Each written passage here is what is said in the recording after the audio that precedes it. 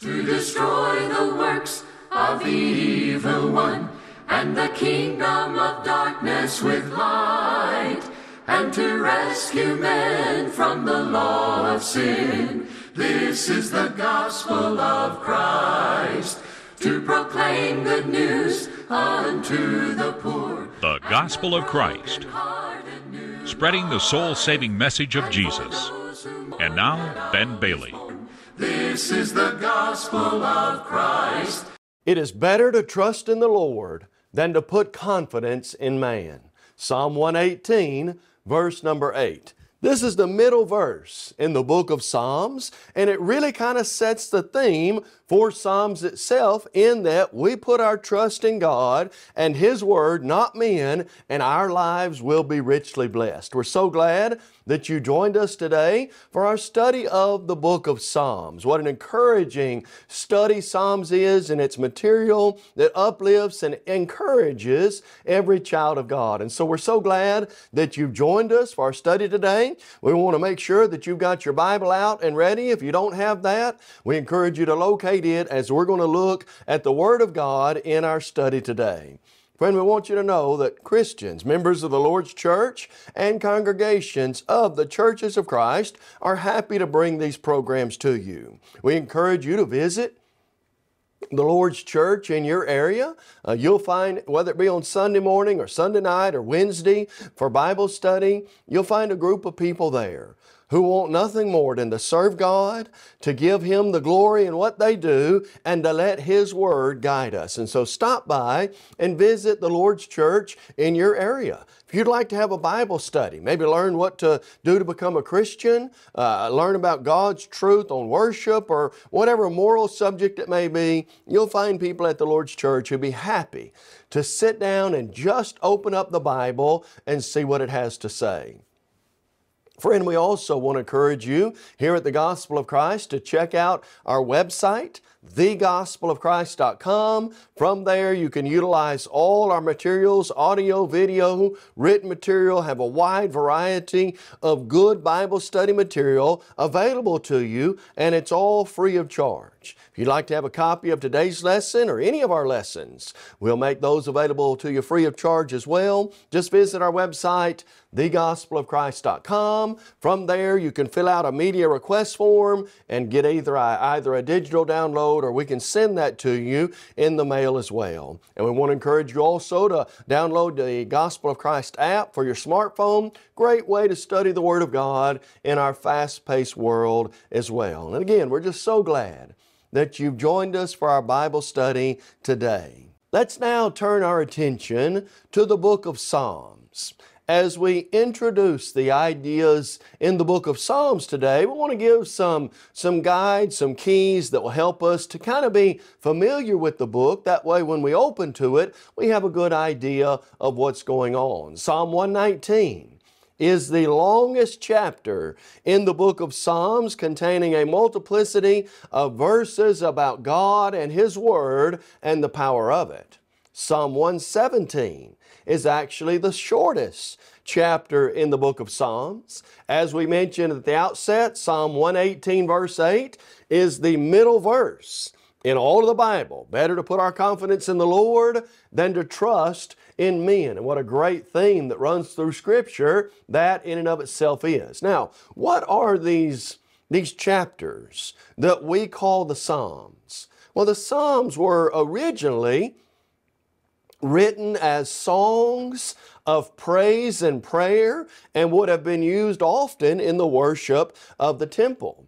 The Psalms cover uh, uh many centuries of Israel's history, likely up to a thousand years in Israel's history. Uh, some of them will talk about things that happened during the time of Moses. Other, others of them are prophecies about things that will happen to the Messiah. And so it covers a wide variety over the history of Israel.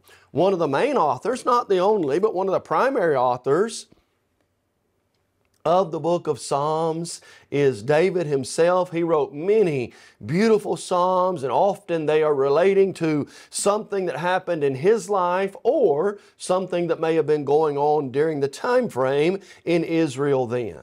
Originally, the Psalms were divided into five different books. Chapters 1 through 41 were the first book, chapters 42 through 72, were the second book, chapters 73 through 89, were the third book of the Psalms. Chapter 90 through 106 was the fourth book, and then chapters 107 through 150 were the fifth book of Psalms. Now, as you're kind of reading the Psalms, there's a word that you will often see that really we sometimes don't understand what that means. You might be reading a psalm, you might be uh, looking at a psalm, or even getting toward the middle of some different psalm, you might see the word Selah, S E L A H. That is literally a term that was interjected in the Psalms to remind the reader to stop and meditate on that certain part of the psalm. The, psalm will say something maybe really powerful, really provoking, and the word Selah will come. And it's like,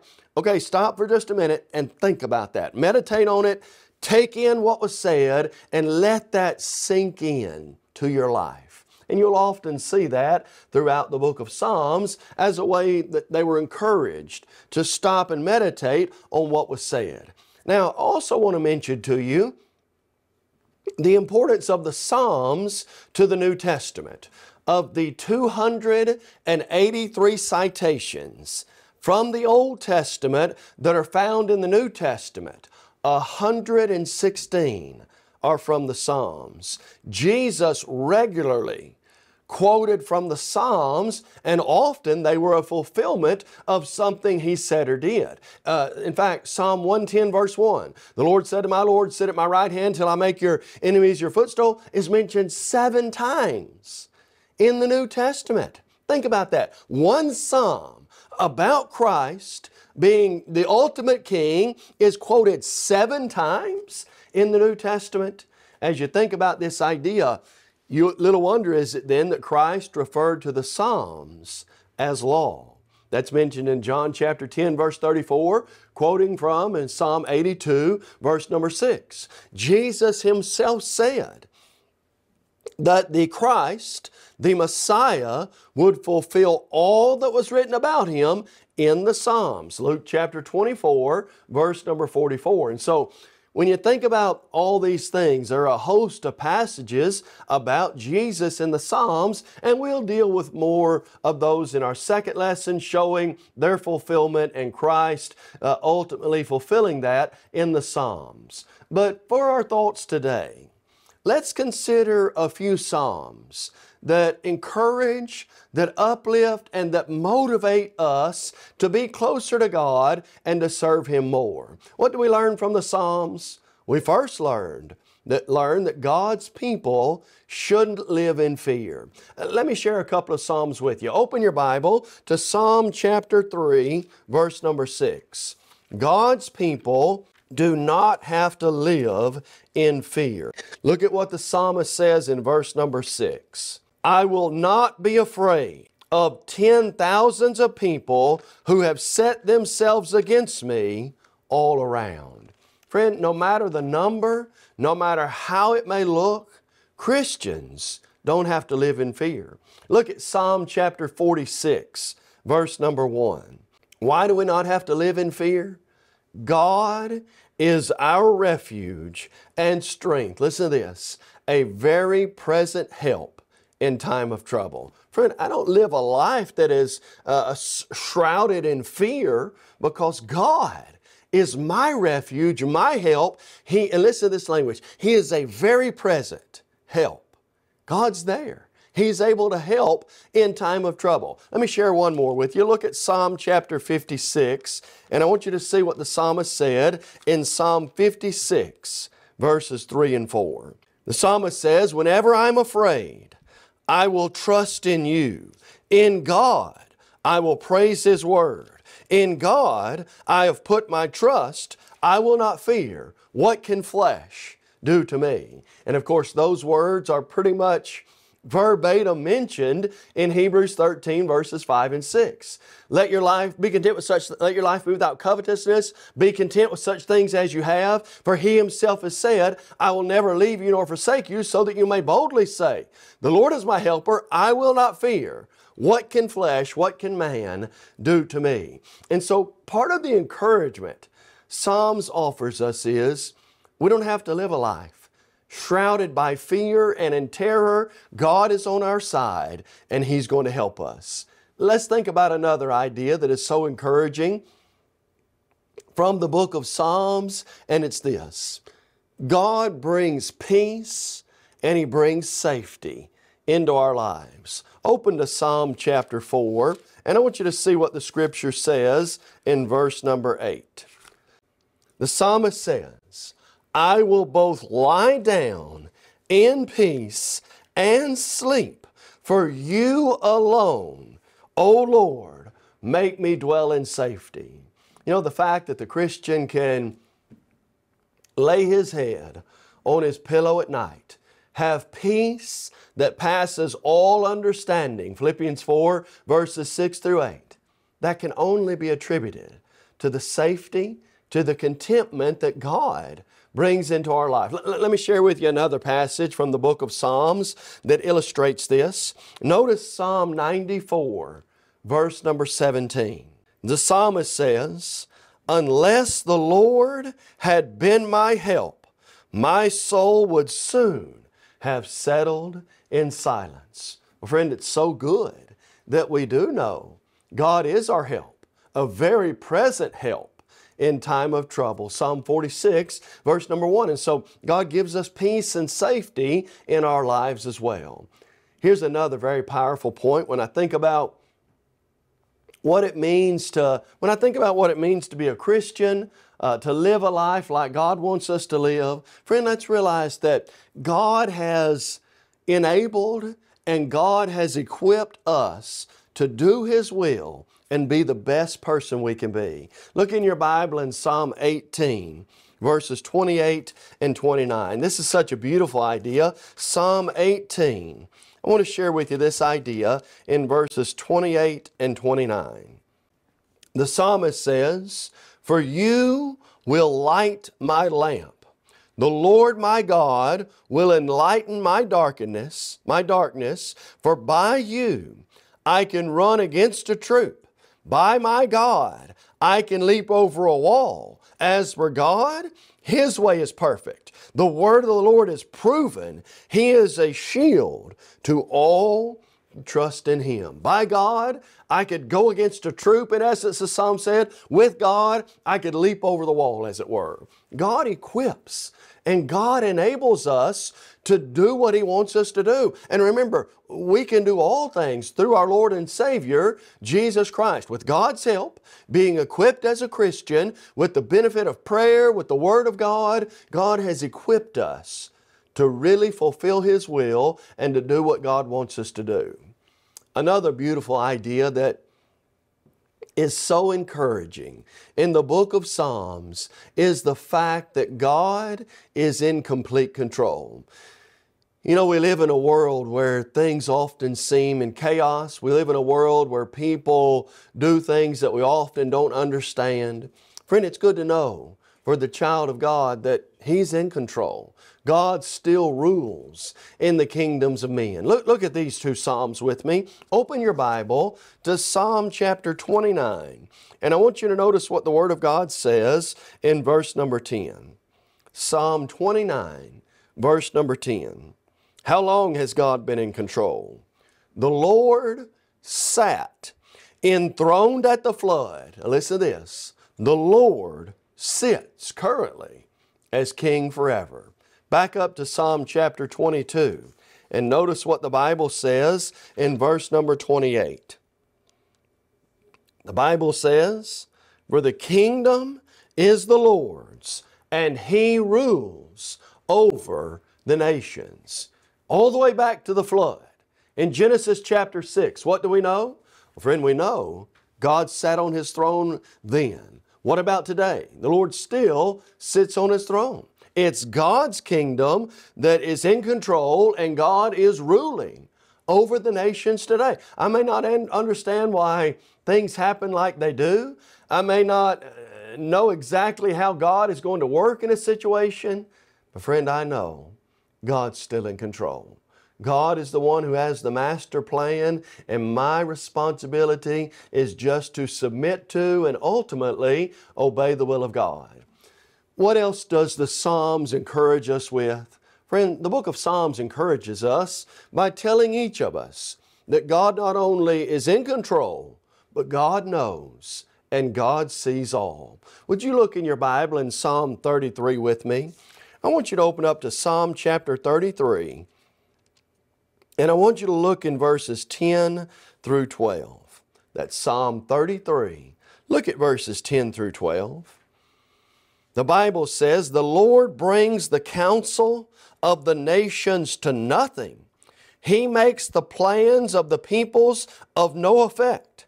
The counsel of the Lord stands forever, the plans of His heart to all generations.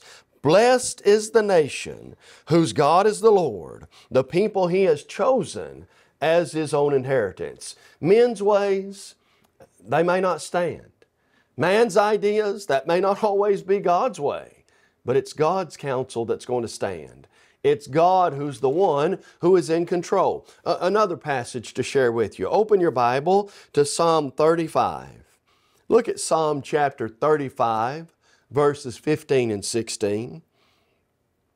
The Bible says, The eyes of the Lord are on the righteous, and the Bible says, And His ears are open to their cry. The face of the Lord is against those who do evil to cut off their remembrance, the remembrance of them from the earth. His eyes see, his ears hear those who are doing his will. Reminds us of Hebrews 4:13. All things are open and naked before the eyes of him with whom we must give an account. Sounds a lot like Proverbs 15:3. The eyes of the Lord are in every place, beholding the good and the evil. Friend, God knows in my life and yours, and God sees. Nothing escapes the almighty knowledge of God.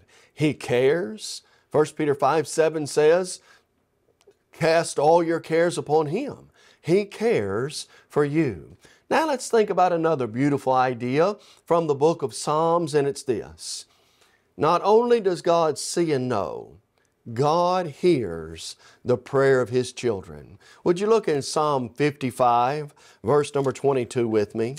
Psalm 55, I'd like for you to look in verse number 22.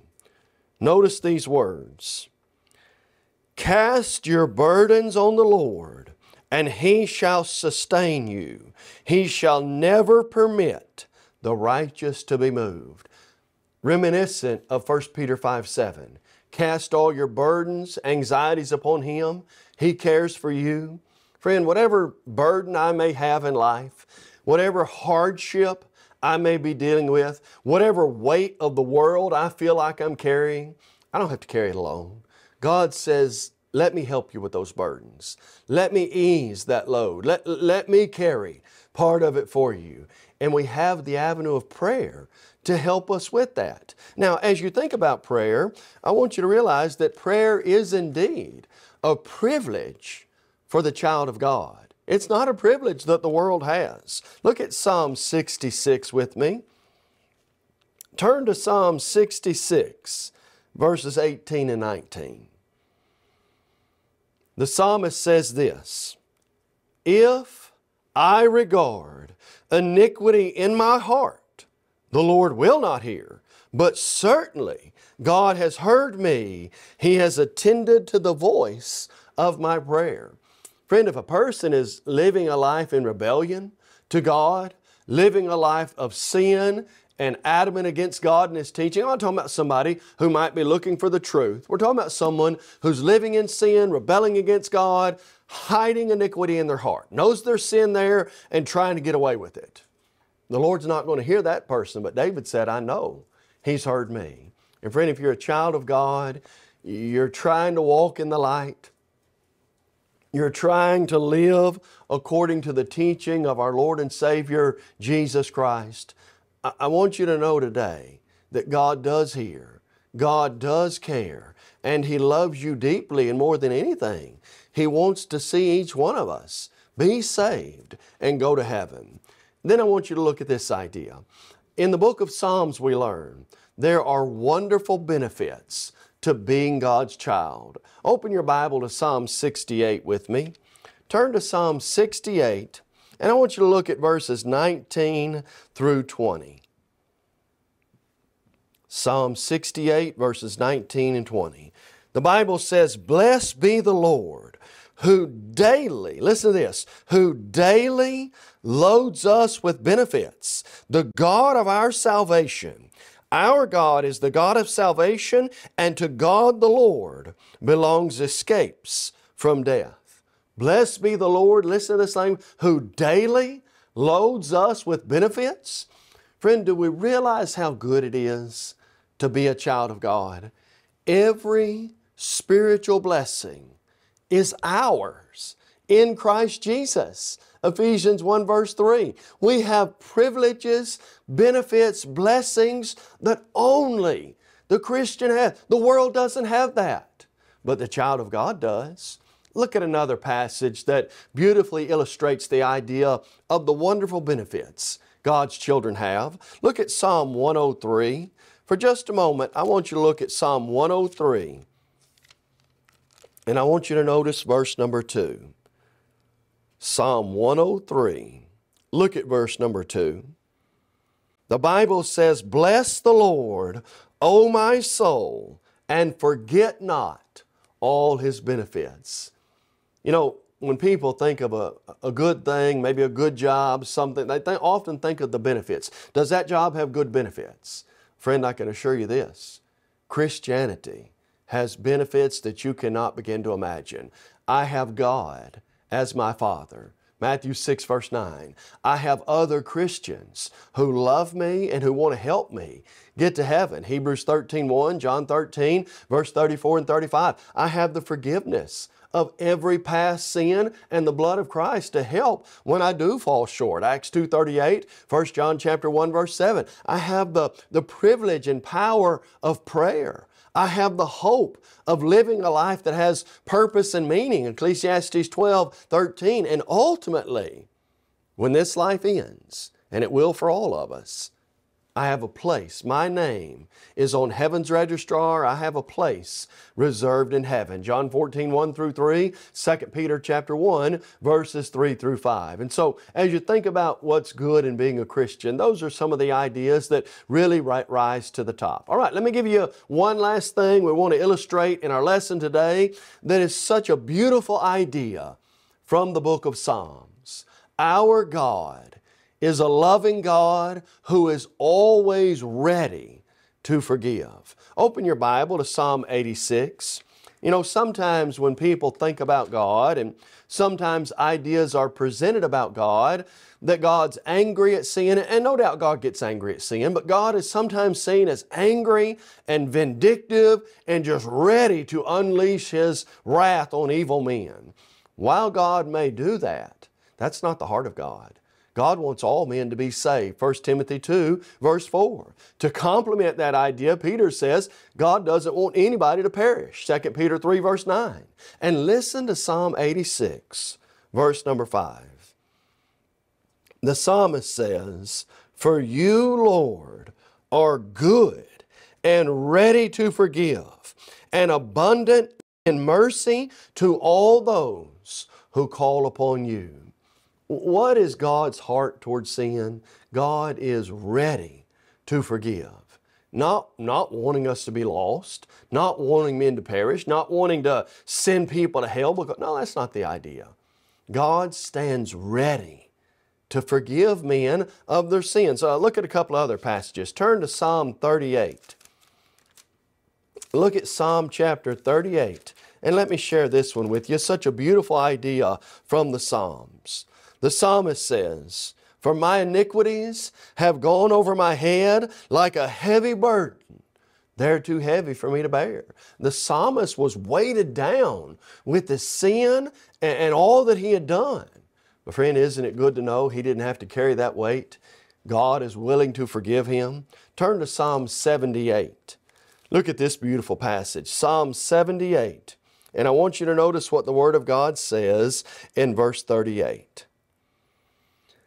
But he, God, being full of compassion, forgave their iniquity and did not destroy them. Yes, many a time he turned his anger away and did not stir up all his wrath. For he remembered they were but flesh, a breath that passes away and does not come again. Isn't that a beautiful idea? God knows that from time to time we make mistakes. God has on multiple occasions in my life and yours been so good to each of us to forgive us our sin and to wipe and wash away all our iniquity. And so in our first introductory lesson, on the book of Psalms. We've laid out some ideas that we hope will be beneficial in your study of this book and then presented some of the major ideas that will help us to be better Christians and more faithful to God. In our next lesson, we will continue with some encouragements from the Psalms and then we'll shift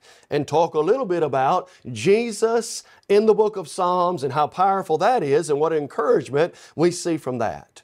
My friend, as always, if you're not a Christian, maybe, maybe your life's not what you want it to be. Maybe the burden, the weight, you're having to carry that all alone. Maybe you're weighted down with sin and heartache. Friend, you don't have to bear that by yourself. God says in, book of, in the book of Psalms and 1 Peter, cast all your burdens upon me. Friend, if you're burdened down, if you're weak and, and heavy laden, do you remember what Jesus says? Come unto me, all ye that are weak and heavy laden, I'll give you rest. God can help you with the sin and the struggles and the difficulties you have in your life. If you're not a child of God, the immediate help you can find is by being obedient to the gospel and having every past sin washed away. Here's what they were told on the day of Pentecost. When they realized they had killed their own Messiah, Acts 2 verse 36, they were cut to the heart and they cried out, Men and brethren, what shall we do? And Peter said, Repent and be baptized, every one of you, for the forgiveness of your sins. Have you done that? Are you a child of God? If not, we encourage you to become a Christian today. And friend, we urge you, join us next time as we find more encouragement from the book of Psalms. You may have just joined our program and are wondering, what is the gospel of Christ? The gospel of Christ is an evangelistic work of the churches of Christ with its whole aim to take the gospel to the whole world. We do that through TV, internet, free media, and streaming. Our motto truly is to take the whole gospel to the whole world, and we believe in having a book, chapter, and verse for everything we say and do. And unlike many religious programs today, we're concerned about lost souls, not your wallet. Visit thegospelofchrist.com for a host of Bible study materials, including audio and video of our lessons. Request your copy of today's lesson by completing a media request form online. On demand downloads are also available at thegospelofchrist.com. We would love to hear from you. Email us at mail at thegospelofchrist.com or call 844 6 Gospel. You may also write us at the address on your screen. Search your App Store for The Gospel of Christ to access our mobile app on your smartphone.